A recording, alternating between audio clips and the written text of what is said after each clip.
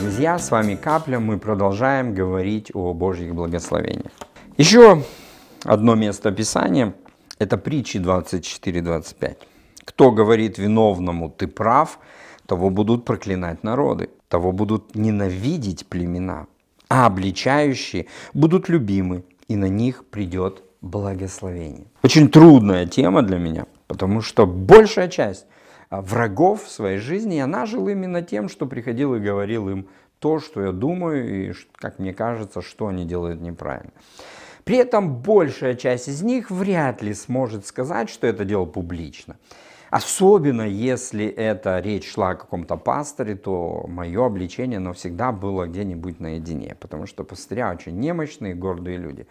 Их нельзя а, обличать, потому что у них большая позиция, ответственность и так далее. Я иронизирую, но в иронии есть доля истины. Обличение – это что-то, что будет разрушать отношения. Особенно, когда ты будешь обличать имеющих власть. А, они обязательно развернут оглобли и будут лупить тебя ею. Но если ты желаешь получать благословение от Бога, если ты желаешь, чтобы люди впоследствии тебя благословляли, ты должен быть тем человеком, который всегда говорит правду. Особенно, когда это касается церкви. Я э, недавно разговаривал с одним человеком, и он последовательный противник организованной религии, то есть он против церквей, общин и так далее. И знаете, мы сидели, разговаривали, и он сказал такую потрясающую фразу. Вот смотри, говорит, в православии бухают, берут взятки, продают должности, католики, педофилы, ну, множество. Э, протестанты воруют, э, клевещут, много ненависти везде. Говорит, вы сами не устали от такой церкви?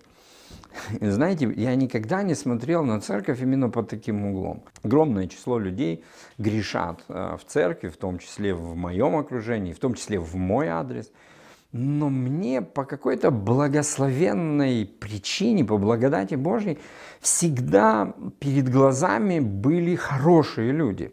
А, были жертвенные, были такие, знаете, самоотверженные, посвященные люди, которые ради Христа и Евангелия а, совершали потрясающие вещи. И я никогда не акцентировал внимание даже на своих врагах, которые уверены в себе, что они имеют право измазать, допустим, мое лицо грязью. И я понял, что вопрос обличения – это не вопрос а, очернения, это вопрос отмывания как раз, знаете.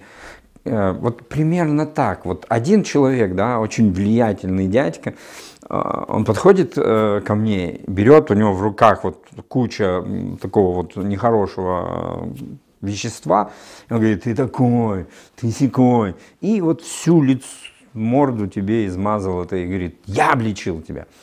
Ну и ты стоишь облеченный, и все люди, которые идут мимо и смотрят, говорят, а кто с ним это сделал? А это вот тот сделал.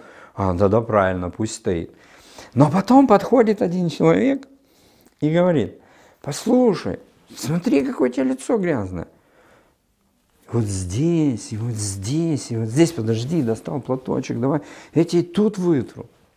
И ты смотришь, вроде бы он говорит те же вещи, вроде бы он называет вещи своими именами, но в то же время а, его действия, пасы руками совершенно другие.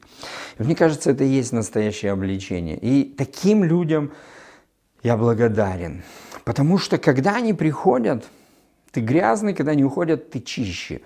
А, потому что они не просто тычут тебе пальцем в глаз, не просто отрезают тебе что-то, не просто пинают тебя, говорят, пошел вон, скотина такая немытая из наших честных, чистых рядов. А он моет тебя, чистит, одевает, убирает недостатки, по крайней мере, в силу своей компетенции и возможностей. И вот эти люди, они заслуживают Божьего благословения – и получают его. Если вы желаете быть человеком, в чью жизнь приходит э, благословение, обличайте. Никогда не проходите мимо. Но перед тем, как что-то сказать или на что-то указать, подумайте, а не усугубите ли вы ситуацию?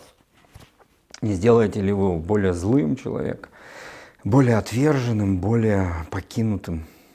Может быть, стоит попытаться помочь, может быть, стоит попытаться смыть эту грязь. Итак, обличение приносит Божье благословение в жизнь.